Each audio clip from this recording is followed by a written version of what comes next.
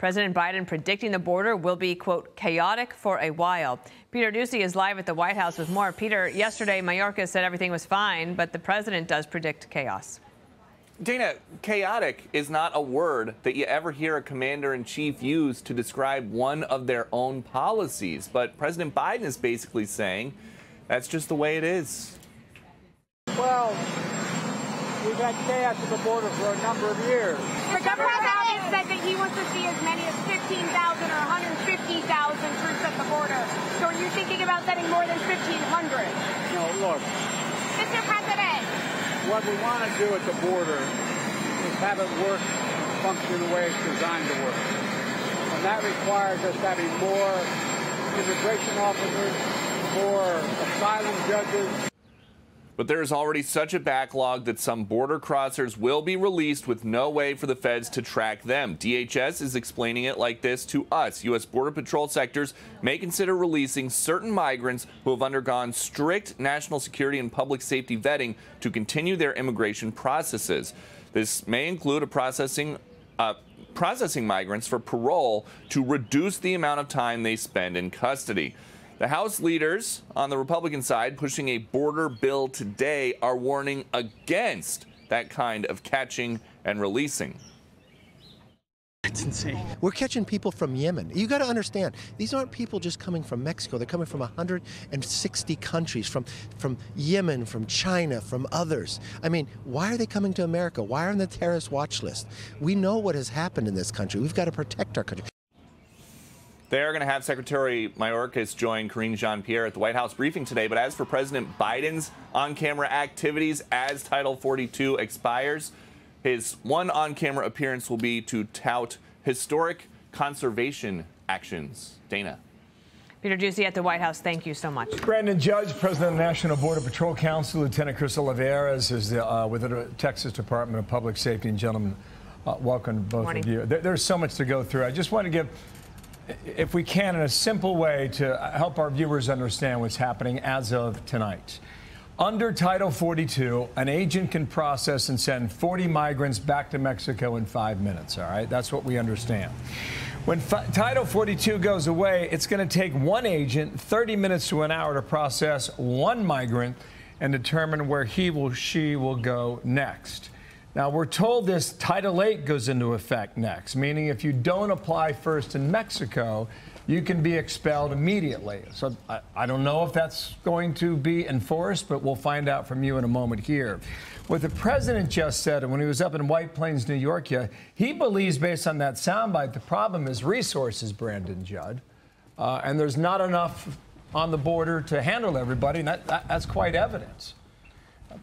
What, what, what's going to happen no, now? No, it's, it's just more lies from yeah, it's, it's just more lies from this administration. It's more deflections. It's not a problem of resources. It's a problem of policy. If we had the proper policy, we can control the border tomorrow. We've already proven that. We don't need to throw more money at this. We don't have to have the taxpayers shoulder the burden. What we have to have is we have to pr have proper enforcement stances. If we have that, we can stop this tomorrow. He just won't give that to us because he knows it goes against his base. So what we've got to go back to is we've got to go back to the rule of law. We've got to go back to what makes us safe, what makes the American people safe. And that's what's so disgusting to every single one of us that are trying to protect the, the American people. It's policy, not more resources. Lieutenant Olivarez, could you explain to people what it will, what could be actually different? Because the, we've been covering this story every day. And I, I, want you to be able to tell people, if you've been following us on Fox News as we've covered this story, what might it look like? What's going to be different for the people of the Texas Department of Public Safety tomorrow morning?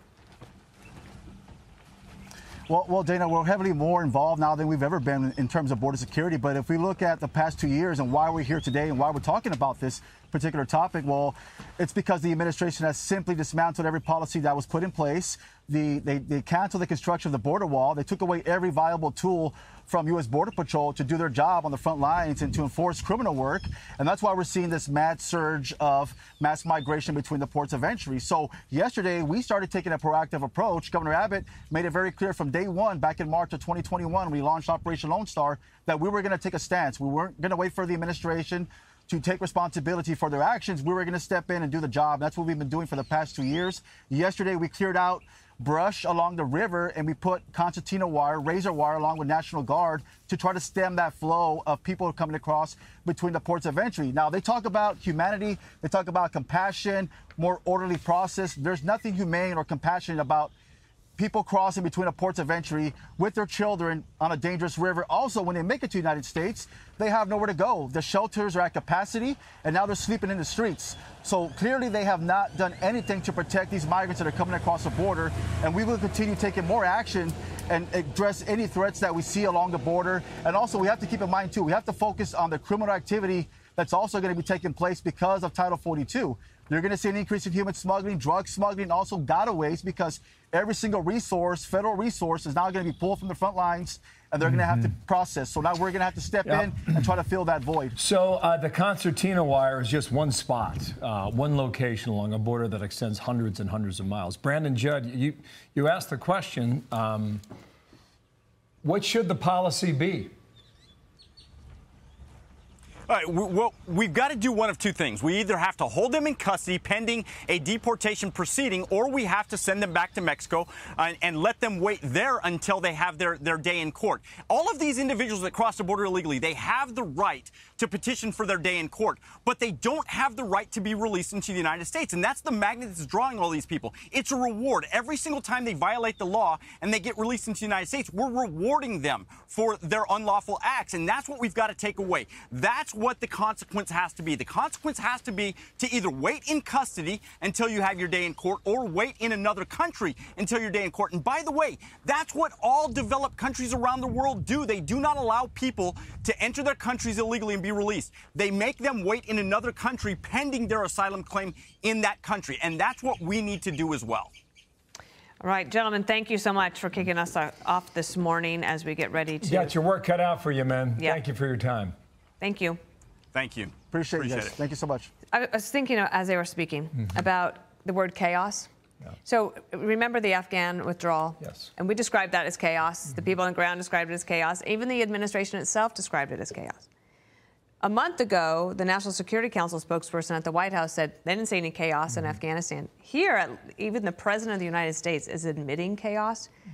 and yet they don't seem to want to own it. I was um, when we were listening to Secretary Mayorkas there. The, the thought comes to mind: why, isn't the President of the United States delivering the same message that he was with the level of force and conviction that he did? And my only conclusion as of now is that the White House is going to have Mayorkas own this thing. We haven't seen Kamala Harris all week on this topic. Remember, it was root causes a year ago. That whole argument has gone to the wayside now, and they've pretty much given up on that. Um, in El Paso, they, they think they could get 17, 18,000 a day. Right. I, I, you, you've seen it already. I mean, we've been showing the video for a month. Um, I, that's just one town. The Wall Street Journal editorial page said Joe Biden's immigration calamity, the collapse of his border policy is on full and painful display. And we're going to take you through this all day today as this story un, uh, develops Yeah. and rapidly. Saw the video, and we'll have more of it. Yes. I'm Steve Doocy. I'm Brian Kilmeade. And I'm Ainsley Earhardt. And click here to subscribe to the Fox News YouTube page to catch our hottest interviews and most compelling analysis.